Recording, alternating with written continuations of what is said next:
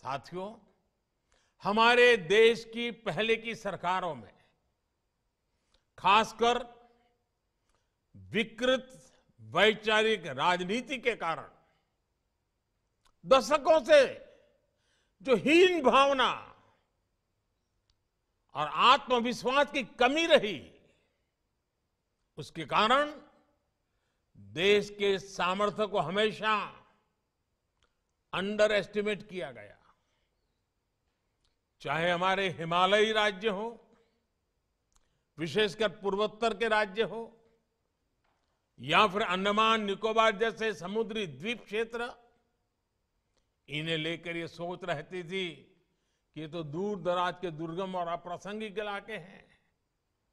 इस सोच के कारण ऐसे क्षेत्रों की दशकों तक उपेक्षा हुई। उनके विकास को नजरअंदाज किया गया।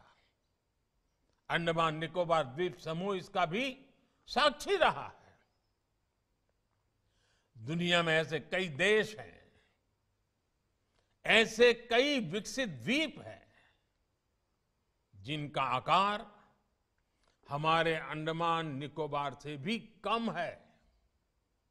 लेकिन चाहे सिंगापुर हो, मालदीव हो, सेसेल्स हो ये देश अपने संसाधनों के सही इस्तेमाल से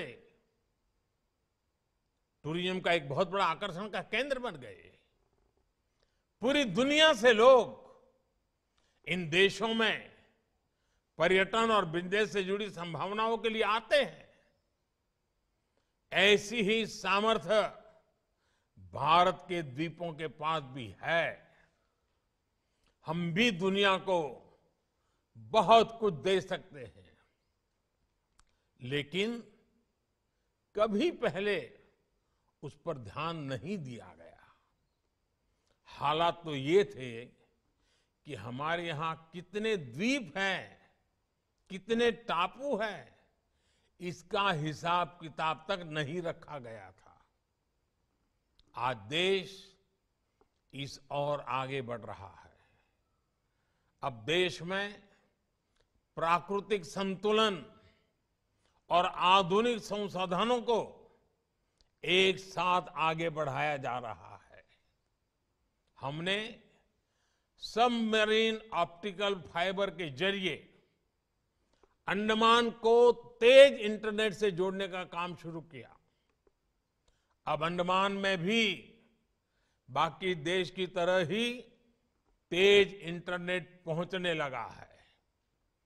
डिजिटल पेमेंट और दूसरी डिजिटल सेवाओं का भी यहाँ तेज़ी से विस्तार हो रहा है।